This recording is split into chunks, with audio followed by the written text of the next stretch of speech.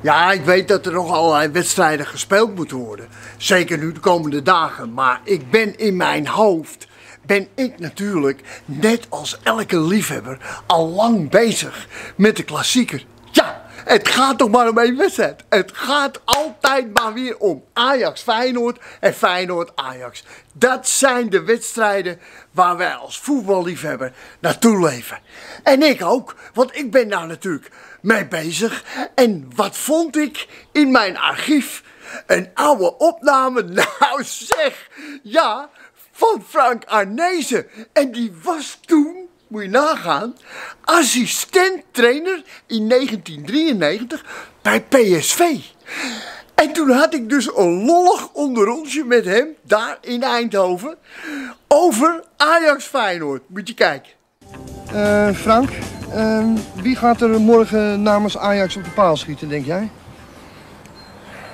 Ja, nou dat zou wel, uh, dat zou wel Jong worden. Jong? Ja. En ik denk zelf ook dat, uh, dat iemand uh, toch ook op de lat uh, zou schieten. Misschien zelf een van Meen je dat nou? Voor Feyenoord, ja. Iemand op de lat ook ja. nog? Oh, nou. Wie? Ja, ik denk Taument. Taument op de lat? Ja. Namens Feyenoord. Nou, nou. Wat gaat het worden trouwens? Wie gaat het winnen? Nou, dat wordt 2-1 voor Ajax. Oh? Weet je het zeker? Zeker weten. Ja, dat was een leuk fragment met Arnezen. Nu technisch directeur natuurlijk, bij Feyenoord. Maar nog eventjes wat. Anderhalf jaar geleden, toen was ik ook al zo verschrikkelijk bezig met die klassieker. En toen heb ik dat ook heel erg aan jullie laten weten. Hier, moet je zien. Ja, zondagochtend, ja, dus, hey, slaap ik altijd lekker uit. Ja, half tien, tien uur. Hey, maar niet vandaag. Nee, nee, nee, nee, nee. Oh, oh, half acht was ik al klaar wakker. Ja, nooit meer een oog dicht gedaan. Ja, dat is nou precies wat een klassieker met je doet. Ja, en dan denk je nou, even, even lekker ontbijten en dan zit je en hup, zenuw op je maag. En totaal geen trek.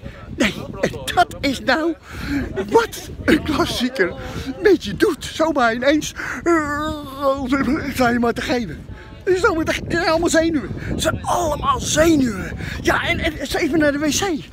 Veel meer plassen dan normaal. Allemaal zenuwen, allemaal zenuwen. Is allemaal, allemaal, dat is wat een klassieker met je doet. Constant op de klok kijken. Oh, hoeveel uur nog? Hoe lang duurt het nog voordat het begint? Dat is allemaal wat een klassieker met je doet. Ja, en dus vragen ze aan mij, Harry, wat denk je? Wat gaat het worden? Het is, dat is nou de lol van een klassieker. Die is eigenlijk niet te voorspellen. Nee, hoe kun je dat nou weten?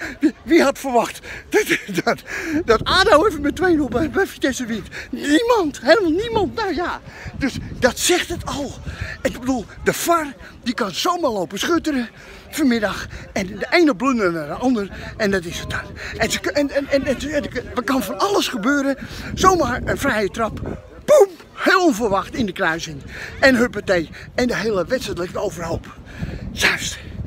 En dat is wat de klassieker doet met deze wedstrijd.